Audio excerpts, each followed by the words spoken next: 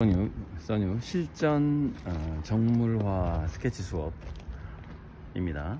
자 이렇게 항아리가 놓여 있다 이 말이에요. 그러면은 항아리도 이렇게 가까이 있는 것들은 뚜껑이 좀 더 이렇게 덩굴덩굴하고 멀리 있는 것들은 어, 모양이 예, 아주 뭐 일정한 얘네들이 수평을 유지하고 있는 게 아니기 때문에 아 제가 그 고의 그 어, 황금달 있잖아요. 밤의 카페 테라스에서 보면은 거기 위에 테이블이 놓여 있단 말이죠.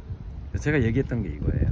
앞쪽에 있는 앞쪽에 있는 테이블은 요, 요런 느낌이어야 되고 좀 뒤에 있는 테이블이 저런 느낌이어야 되는데 고호는 앞에 있는 거나 뒤에 있는 거나 비슷하게 해놨더라 이 말이에요. 그래서 그것을 제가 좀 수정을 했다.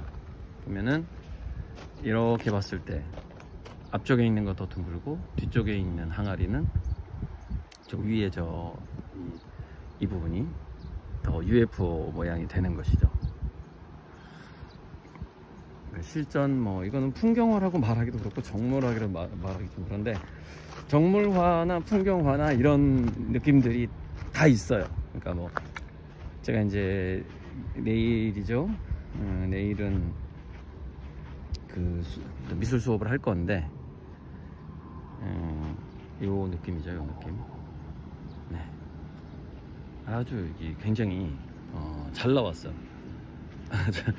이 이게 연못에 있는 연꽃이라던가 그렇게 생각을 해보면 돼요. 이렇게 이렇게 이렇게 예, 모양이 네 이렇게